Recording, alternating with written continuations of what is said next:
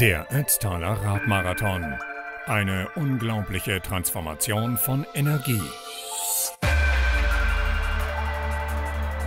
30 Jahre Ötztaler Radmarathon. Eines der härtesten Rennen im Amateurbereich. Kurz vor 7 Uhr warten die Massen bei 3 Grad Außentemperatur auf den Startschuss.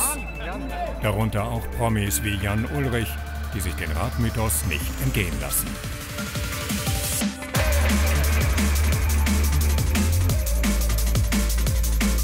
Über 4000 Starter wollen sich heute ihren Traum erfüllen.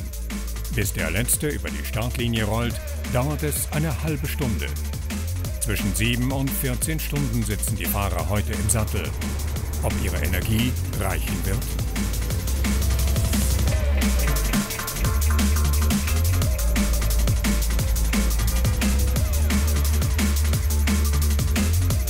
Die Tortur über vier Alpenpässe beginnt. Von Sölden in Tirol geht es über das Kütai nach Innsbruck. Der Brennerpass führt nach Italien und auf den Jaufenpass. Danach kommt das gefürchtete Timmelsjoch. 238 Kilometer und 5500 Höhenmeter gilt es zu bewältigen. Was passiert, wenn Radsport auf Physik trifft, erklärt der Physiker Werner Gruber, der uns auf der heutigen Tour begleitet. Das sind ja durchaus sehr beeindruckende Zahlen, die wir hier bei diesem Radmarathon haben. Äh, über 4000 Personen nehmen teil und jeder von ihnen sollte über 5500 Höhenmeter zurücklegen. Äh, multipliziert man das, dann kommt man auf eine Höhe, ja, Erdboden bis ungefähr zur Hälfte des Mondes. Nehmen wir aber die Distanz, die zurückgelegt wird, 238 Kilometer äh, mal 4000, naja, da könnte man 20 Mal um die Erde fahren. Aber umgekehrt 20 Mal um die Erde, dass man dann wieder am selben Ort ist. Aus dem Grund reicht es, wenn man einmal diesen Radmarathon durchfährt.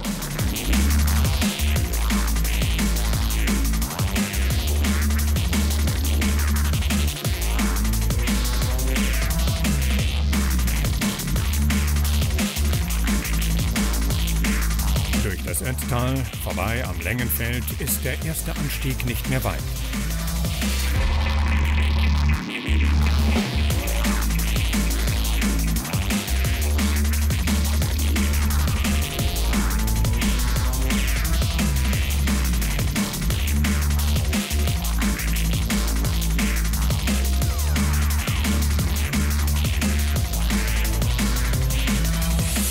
Geht auf 2020 Höhenmeter zur ersten Labestation. Das Kütai ist mit 18 Prozent die steilste Etappe des Rennens.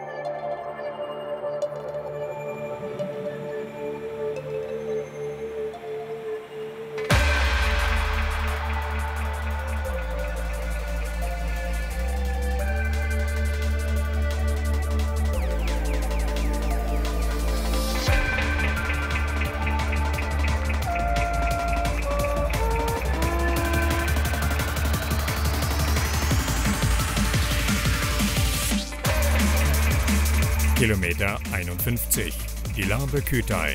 Die ersten 1200 Höhenmeter sind geschafft. Jan Ulrich genehmigt sich auch sein Schlückchen. Nach fünf Jahren Pause vom Radsport fährt er heute für einen wohltätigen Zweck mit. Super, super, alter Mann, aber es geht. 67 Jahre und noch ledig. Deswegen habe ich Zeit zwar nicht zu Uh, Am Start musste ich eine halbe Stunde warten, bis ich die Startlinie passierte. Es ist kalt hier, aber mir geht's gut. Es ist angenehm kühl. Das sind genau meine Temperaturen. Und ja, ich bin so raufgefahren, fast meditativ. Man fährt drauf und denkt sich, okay, jetzt, ich könnte so schneller fahren, ich tue es aber nicht. Ich will es nur beenden. Aber das Eierbock weiß ich nicht. Will Bananen essen und ja. Ja, für die 4122 Teilnehmer, die jetzt am Start waren, haben wir äh, 12.000 äh, Bananen von St. Luca, dann haben wir 16.000 Riegel von Corny.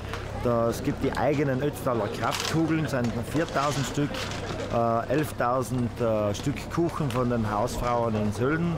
Äh, dann äh, insgesamt Getränke haben wir für jeden Teilnehmer 12,5 Liter. Und äh, ja, äh, das Ganze ist so, dass man äh, das ausgerechnet hat, dass ein Teilnehmer ungefähr 8000, äh, Kilo, äh, 8000 Kalorien verbraucht, äh, was bei 4000, 4500 Leuten ja eine Summe ausmacht von 32 Millionen Kilokalorien, die verbraucht werden.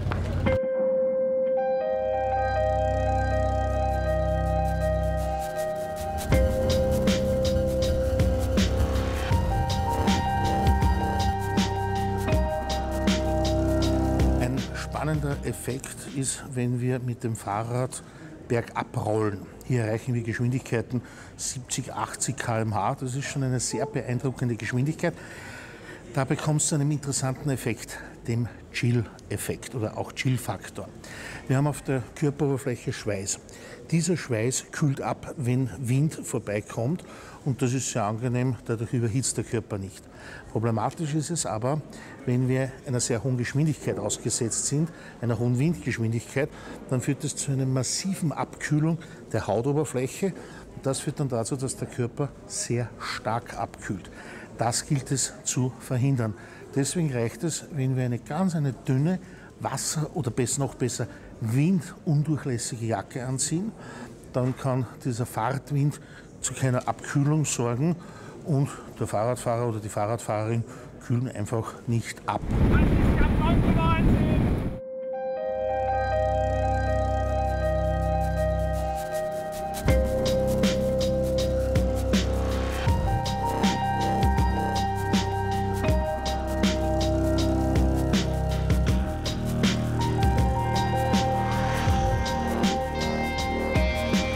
Durch die Landeshauptstadt Innsbruck geht es in Richtung Brennerpass. Für Sightseeing bleibt aber keine Zeit, denn bis spätestens halb elf muss der rote Teppich, nämlich die Zeitmessung, passiert werden.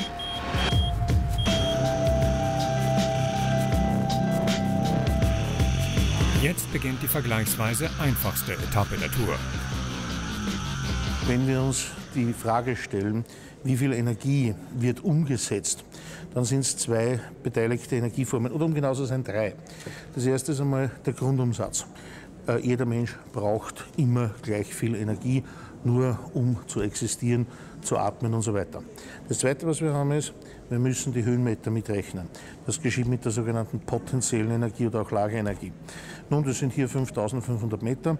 Und wenn wir jetzt einen Fahrradfahrer mit 70 Kilogramm rechnen und 5 Kilogramm für das Fahrrad, können wir uns ausrechnen, dass ungefähr so ein Fahrradfahrer um die 960 Kilokalorien benötigt. Dann haben wir noch als drittes die Bewegungsenergie. Rechnen wir die Bewegungsenergie durch, um diese 235 Kilometer zurückzulegen, dann kommen wir auf einen sehr niedrigen Wert. Aber da gibt es noch etwas ganz was Gemeines, das ist, dass wir natürlich auch Reibung und Luftwiderstand haben. Rechnen wir das mit, dann kommen wir auf eine Größenordnung von 6.000 bis 8.000 äh, Kilokalorien, die ein Fahrradfahrer benötigt. Das fünfte Mal dabei. Hoffentlich geht's gut. Dann schaue ich dann mal, dass ihr Flasche Bier erwischt. Da geht's, da geht's aufwärts. Ja, was du? Zwei, dreimal die Runde heißt, super bin ich.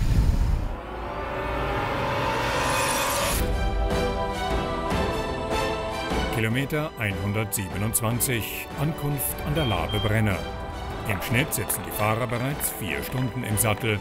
Energietanken ist jetzt angesagt.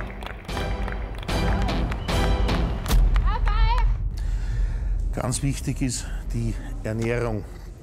Äh, was nimmt man zu sich? Big Mac, Leberkässemmel oder klassischen Müselriegel und Banane? Genau, für mich ist es einfach leicht verdaulich Der Magen beschwert sich nicht so wie mit einem Big Mac oder mit der Fast Food allgemein. Und das brauche ich beim Radfahren. Dass einfach, dass der Energiefluss auch in die Muskeln stattfindet und nicht irgendwie mich da beschwert und ich mich bald wahrscheinlich übergeben müsste am nächsten Pass. Also hier darfst du kein Big Mac essen, hier musst du locker leichte Kost essen. Ein paar Früchte, ein Riegel und der darfst nicht essen. Problematisch wäre es, würde man ein Leberkassemmel essen oder Fett. Fett hätte den Vorteil, dass es komprimierte Energie ist, aber es braucht sehr lange, bis dieses Fett dem Körper direkt im Blut zur Verfügung steht. Deswegen verwendet man lieber eine Müsliriegel. Und ja, man kann sagen, dass ungefähr für den Ötztaler Radmarathon energetisch braucht man so in der Größenordnung 80, 90 Müsliriegeln, um das Ganze durchzustehen. So habe ich mir das auch gedacht, dass ich hier oben auf dem Brenner mich so fühle wie jetzt. Bei mir kommt es nur aufs Ankommen an. Ich bin nicht in der idealen Gewichtsklasse. Ich wiege über 100 und ich muss nur ankommen. Ich muss nur ankommen und äh, aber das werde ich. Das werde ich. Langsam, aber sicher. Alles andere als langsam verlassen die Fahrer nun Österreich und nehmen die Abfahrt Richtung Italien. Es geht durch das malerische Dörfchen Gossensass nach Sterzing.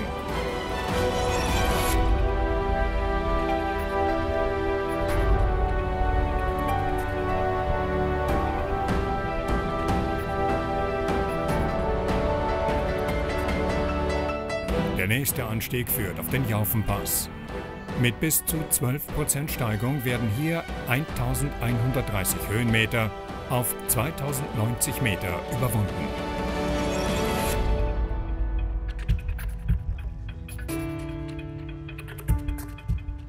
Haben Sie gewisse Nachteile den anderen gegenüber, weil Sie ja doch jetzt ein bisschen... Ich bin 20 Kilo schwerer als die anderen, ja. Ich sage immer, die sollen mal einen Kasten Bier auf den Rücken machen und den Berg hier hochfahren, mal gucken, wer schneller ist. Natürlich sollte man, wenn man zum Ötztaler Radmarathon teilnimmt, sollte man noch nicht extra einen großen Rucksack mitnehmen, wo man noch ein paar Bücher für als Reiseliteratur dabei hat. Denn wenn wir die Höhenmeter überwinden wollen, das ist ja doch das Anstrengende, dann sagt die Formel E ist gleich m mal g mal h. G ist die Gravitationskonstante, die können wir leider noch nicht ändern. Die Höhenmeter sind leider vorgegeben. Das Einzige, auf was wir einen Einfluss haben, ist die Masse. Naja, und wenn ich jetzt eher mit meiner Masse teilnehmen würde, dann wäre das sicher 100 Mal, oder nicht 100 Mal, aber um einiges anstrengender, als wenn irgend so ein Znirchtel mit 60 Kilogramm teilnimmt. Jetzt muss man allerdings unterscheiden. Das Körpergewicht sagt noch nichts aus über das Muskelgewicht. Dann hat jemand auch mit 100 Kilogramm, ist ein einziges Muskel Muskelpaket, naja, dann schaut es schon wieder anders aus, als wenn jemand nur 60 Kilogramm hat, aber vielleicht durchaus 10 Kilogramm Übergewicht. Aus dem Grund das Wichtigste, schauen, dass man viele Muskeln hat, möglichst wenig Fett. Wobei auch hier muss man sagen, bekommt man eine Infektion, sind ein paar Kilogramm Übergewicht durchaus auch sinnvoll. Wollen den alten dicken Mann leiden sehen? er leidet. Aber es geht. Ich werde auch oben ankommen. Und ich werde auch auf dem Timmelsjoch oben ankommen. Vor dem Besenwagen. Vielleicht knapp davor. Aber davor. Man muss halt gut einteilen hier. 88 Kilo wird man kein Bergkönig. Das muss man sich, muss man sich verinnerlichen. Beiß mich aber durch, das kann ich euch sagen. Egal wie. Schaltung kaputt, mir fehlen zwei Gänge. Aber egal. Das erlebt man nur einmal. Das absolute Highlight. Absolute Highlight für ein, für einen Jedermann, für nicht. Das ist einfach wie ein Profirennen. Die Begleitung, die Zuschauer, das, das, das kann, muss man einfach erleben. Das hat, hier drin, da merkt man es. Und dann weiß jeder, was los ist. Jeder, der ankommt, ist ein Sieger und wer nicht ankommt, ist auch ein Sieger.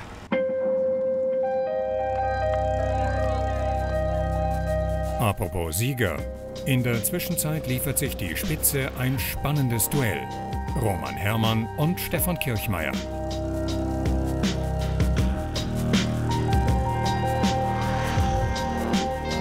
22-jährige Tiroler verabschiedet sich bereits hier von der Konkurrenz und fährt einen großen Vorsprung ein.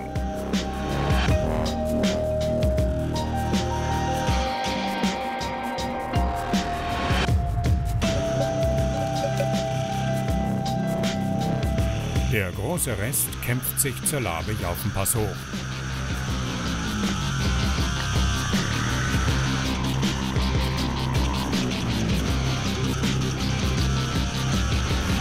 Kilometer 150.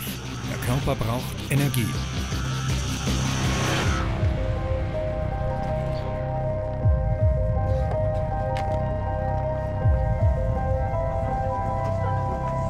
Also bei mir ist nur mental. Also wenn ich nach einem Training machen wird, was ich heuer gefahren bin, dann dürfte ich gar nicht anfangen eigentlich zum Fahren. Bei mir ist es nur mentale Sache und da wenn ich fit bin, dann kann man es durchziehen. Es muss, muss gehen. Haben Sie schon Angst vom Dimmelsjoch? Respekt, sagen wir so. Mir langt jetzt eigentlich schon. Aber ich glaube, ich liege ganz gut im Zeitlimit, für den wir ein bisschen laufen unterwegs, gut essen. Was Mut hat Mut, ne?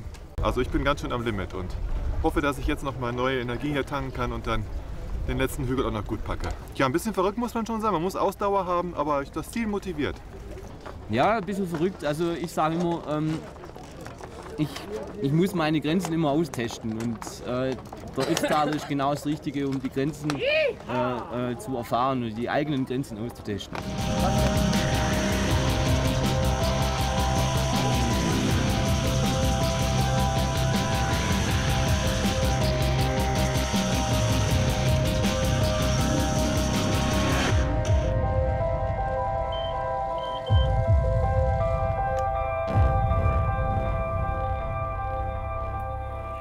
Viele Damen und Herren freuen sich, wenn sie jetzt einmal einen Pass erreicht haben und sie sehen, jetzt können sie sich entspannen, weil sie können jetzt, wie man so schön sagt, das Rad laufen lassen. Das Gemeine ist nur folgendes, es gibt viele Kurven und wir können nicht einfach Kurven mit 80, 90 km/h nehmen, also können schon, aber es gibt sowas wie die Haft- und die Gleitreibung. Nein, das Problem ist das, wir müssen dann wieder abbremsen. Und das ganz Gemeine ist, wir müssen sehr viel bremsen. Wir haben einen Luftwiderstand. Das bedeutet, diese potenzielle Energie, die Lagerenergie, wenn es ideal wäre in der Physik und wir hätten keine Reibung, könnte man bis zum nächsten Pass wieder raufrollen, ohne dass wir nur ein einziges Mal treten müssten. Nur das ist im idealen Fall und leider nicht in der Realität.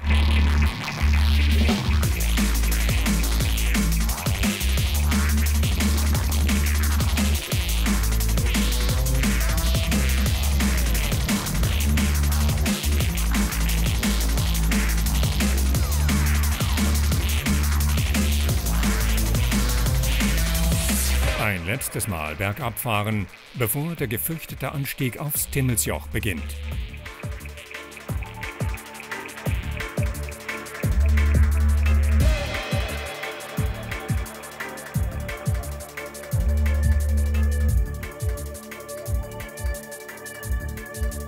Die Energie, die umgewandelt wird von unserer Lagerenergie in die Bewegungsenergie, die ist hundertprozentig. Aber von der Bewegungsenergie müssen wir sagen, 98, 99 Prozent der Energie wird in Reibung umgewandelt. Das heißt, wir müssen alles wieder rauftreten und können uns leider nicht vom letzten Pass zum nächsten erholen. Es spielt sich nur mental ab. Man muss einfach nur rauf, rauf, rauf treten und dann schafft man es auch. Eine reine Kopfsache. It's just in your mind. Gibt es genügend Energie jetzt, um darauf zu kommen aufs Dimmelsjoch? Kopfsache ist noch. Jetzt kommt man vom Kopf aus. Glaube ich. Obwohl die Haxen dann. Und das andere ist Kopfsache. Gemütlich.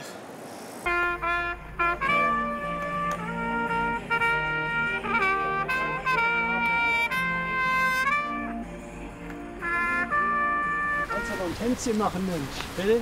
Kannst du noch tanzen? Ja, tanzen geht noch. Aber fahren 200 Kilometer haben die Fahrer bereits zurückgelegt. Während die einen tanzen, quälen sich die anderen zur Labe Schönau hoch.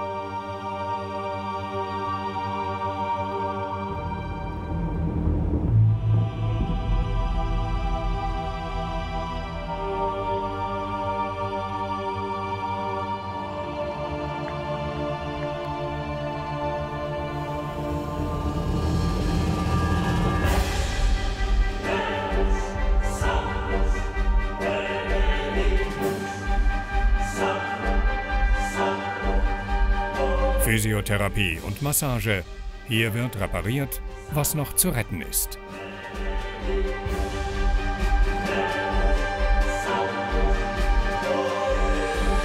Ja, sie müssen viel trinken, sie brauchen Magnesium, sie haben sehr viel an, an sehr hohen Muskeltonus. Also die Muskulatur ist verspannt, natürlich in, hauptsächlich in den Beinen, aber auch teilweise im Rücken vom Sitzen. Ja. Und es sind heute zum ersten Mal auch schon Topfahrer zum Massieren gekommen. Das ist ganz, ganz gut. Oberschenkel. Noch ein bisschen Strecke. Ja, aber es geht schon. Ist ja nicht mehr weit. Stefan Kirchmeier holt jetzt noch einmal alles aus sich heraus. Weit abgeschlagen die Verfolger. Der Vorjahressieger Antonio Corandini und Roberto Cunico. Hier die beste Dame, Vorjahressiegerin Edith von den Brande auf der Jagd, um ihre eigene Bestzeit zu schlagen. Stefan Kirchmeier erreicht in 7 Stunden 6 Minuten 31 Sekunden das Ziel in Sölden. Damit hat der junge Tiroler die jahrelange Vorherrschaft der Italiener beendet. Vier Minuten später kommt Antonio Corandini mit einer Zeit von 7 Stunden 10 Minuten und einer Sekunde und kurz darauf der drittplatzierte Roberto Cunico ins Ziel. Die Belgierin Edith van den Brande hat zwar ihre Vorjahreszeit um drei Minuten verpasst, aber ließ ihre Verfolgerinnen mit einer sensationellen Zeit von 7 Stunden 51 Minuten und 30 Sekunden eine halbe Stunde hinter sich. Ich bin zwar 2005, glaube ich, schon das Rennen gefahren, aber da habe ich mit Rennfahren noch nichts am Hut gehabt. Eigentlich äh, äh, ja, war das eigentlich der Startschuss für meine, für meine Rennradkarriere, jetzt blöd gesagt. Aber also, so weit bin ich ja nicht gekommen, aber es läuft ganz gut und äh, von dem her habe ich vom Rennverlauf noch keine, keine Ahnung gehabt. Ich bin damals 9 Stunden gefahren oder so. Also ich habe nicht gewusst, wie schnell man jetzt im Laufen wirklich fahren muss, dass man mit den Schnellsten mitkommt. Und ich war mir nicht sicher, ob, ob das heute für mich möglich ist. Also ich habe mir das Ziel gesetzt, wenn alles super läuft, vielleicht, dass das Podium reicht. Aber ich war genauso zufrieden gewesen, wenn es ein 10. oder 20. Platz geworden war oder wenn ich, wenn ich komplett geplatzt war. Also ich habe es äh, eigentlich wirklich nicht gewusst, wie, wie, wie schnell man fahren muss da und äh, eigentlich, im Laufen war es ein bisschen langsamer, aber da habe ich gemerkt, dass, dass ich mich eigentlich relativ leicht tue. Damals, wo ich mit 16 da das erste Mal am Start war, habe ich irgendwie so natürlich ein bisschen Träumen angefangen und man denkt, ja, geil war natürlich äh, einfach weiterarbeiten und irgendwann einmal vielleicht daher zurückkommen und gewinnen. Den Traum habe ich mir heute erfüllt. Und der zweite Traum ist halt, dass ich Profi werden kann, vielleicht in, in zwei, drei Jahren. Und äh, an, dem, an dem arbeite ich und ich hoffe, dass, dass die Tür vielleicht irgendwann für mich aufgeht. Ja, ich bin Zweiter geworden. Aber wir müssen bedenken, dass der Sieger ein Profi ist. Das ist sein Job und äh, vielleicht ist das gar nicht gerecht. Ich bin berufstätig und passt schon. Es ist, als ob ich gewonnen hätte. It was again a hard day today. I took a very fast start on the Kutai. Es war heute wieder ein harter Tag. Ich hatte einen sehr schnellen Start beim Kütai, aber am Brenner waren wir eine große, langsame Gruppe. Erste, zweite, dritte Gruppe, alle waren gemeinsam unterwegs. Am Jaufenpass lief es gut. Aber am Timmelsjoch war ich wie jedes Jahr fertig. uh. Uh, Energiereserven? Ah, nicht mehr viel. Jan Ulrich. Auch der Ex-Profi kämpft jetzt mit den Strapazen. Aber es geht noch. Helden sind die, die hinter uns kommen.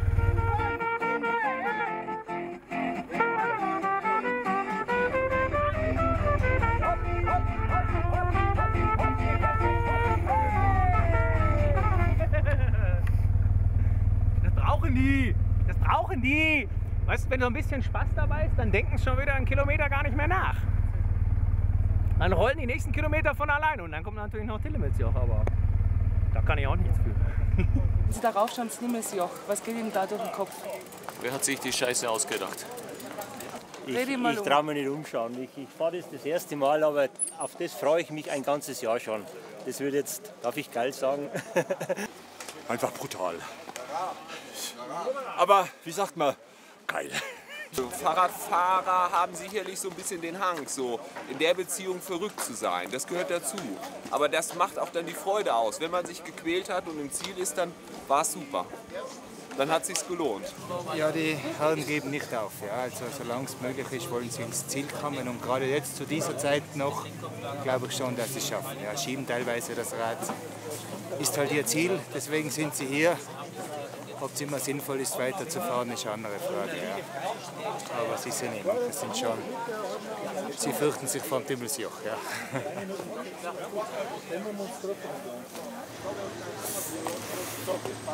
Tut gut. Wenn ich es nicht schaffe, lasse ich es rauchen, genau. Dann höre ich auf. Das ist schon Versprechen. Kühlteil ging noch richtig gut. Schön schnell gefahren, dann am Brenner mit irgendeiner schnellen Gruppe gefahren, dann wird es langsam hart. Und dann jaufen bin ich gestorben und jetzt gehe ich in die Hölle. Aber ich komme an.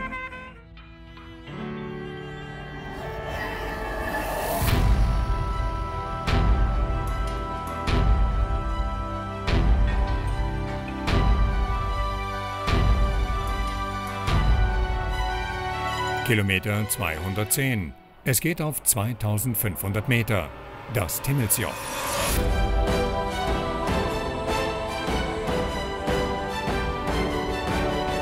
Das Timmelsjoch zeigt jedem seine Grenzen auf.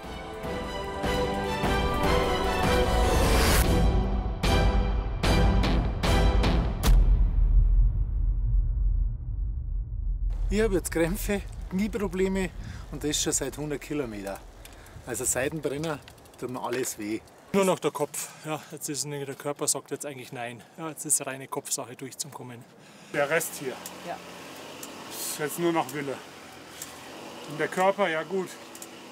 Du musst halt irgendwie mitspielen, ja. Was schon echt grenzwertig ist. Viele Damen und Herren sagen, dass sie ab einem bestimmten Zeitpunkt, gerade beim Anstieg aufs Timmelsjoch, mit mentaler Energie fahren. Meine Damen und Herren, ich muss Ihnen leider mitteilen, es gibt keine mentale Energie. Ähm, wir haben das Gehirn, wir nutzen es zu 100 Prozent. Auch das, dass wir es nur zu 10 Prozent nutzen, ist eine moderne Legende. Was wir aus dem Gehirn daraus machen, ist eine andere Frage. Wir fahren aufgrund der Umwandlung von chemischer Energie in mechanische Energie. Und da gibt es zwei Möglichkeiten. Die Muskeln akzeptieren die Befehle des Gehirns oder die Muskeln akzeptieren diese Befehle nicht mehr. Wenn sie das nicht mehr akzeptieren, dann fällt man vom Vorrau, dann wird man vom Kehrwagen aufgekehrt und sonst fährt man einfach weiter. Fahren wir halt mit Schmerzen auf. Es geht schon. Man stirbt zweimal dann auf. Ich hab einen kleinen Krampf im Bein. Die muss ich jetzt zuerst rausgehen. Und dann fahre ich wieder. Ist ja nicht mehr weit. Sind noch drei Kehren, glaube ich, oder? Ja, vier Kilometer. Was? Dann steige ich wieder aufs Rad. In zwei Tagen würde das Spaß machen. Mit meinen Kumpels, mit viel Pause zwischendurch, im schönen Restaurant ein Bierchen trinken. Aber an einem Tag ist es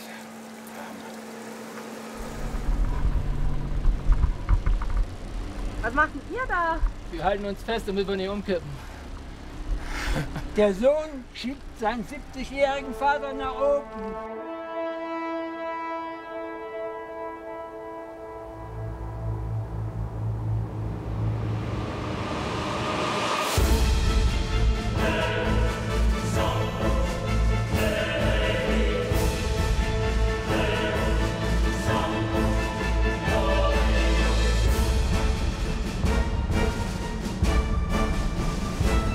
Gipfel des Timmelsjoch mit 2509 Metern.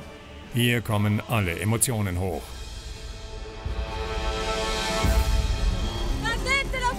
Ich sag's doch, ich schaffe es. Und jetzt?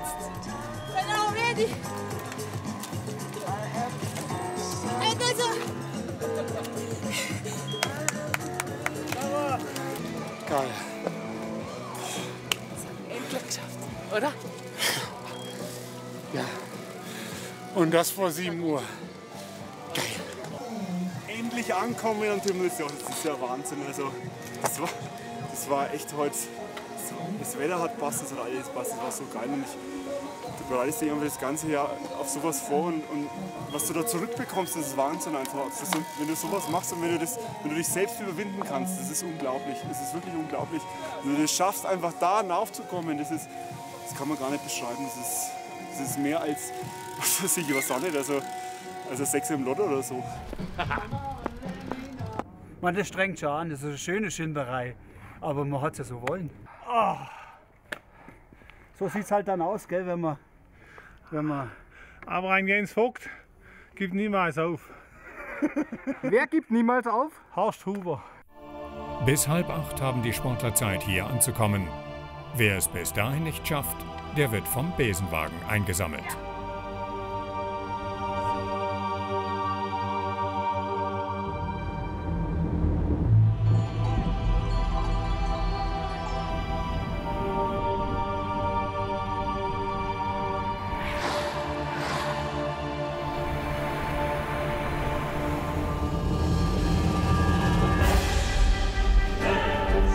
Von den 4122 Teilnehmern haben es 3909 bis ins Ziel geschafft.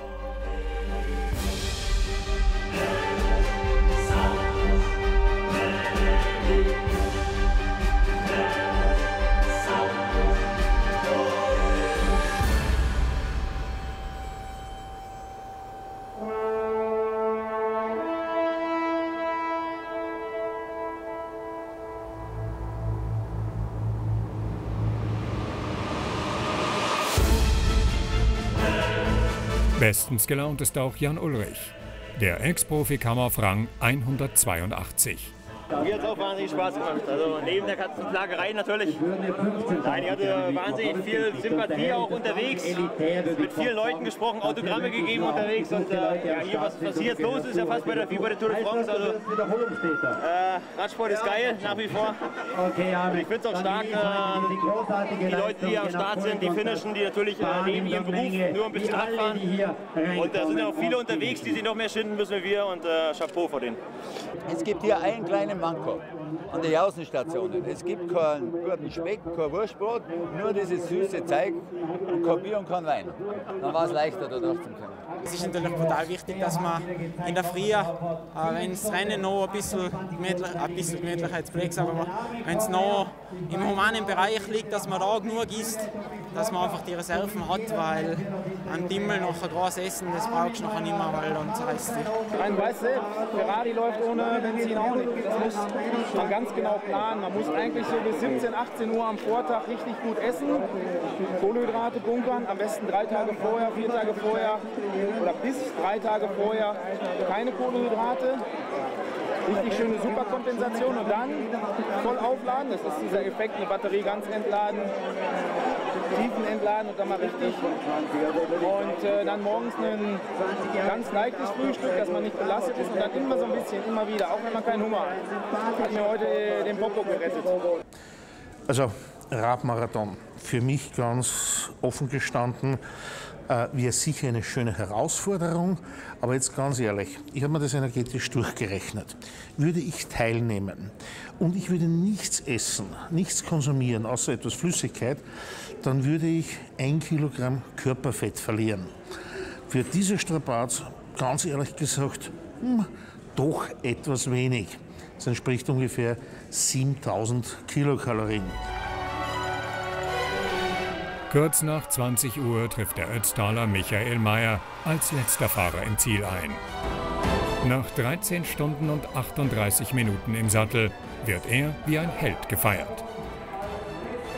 Der Ötztaler Radmarathon.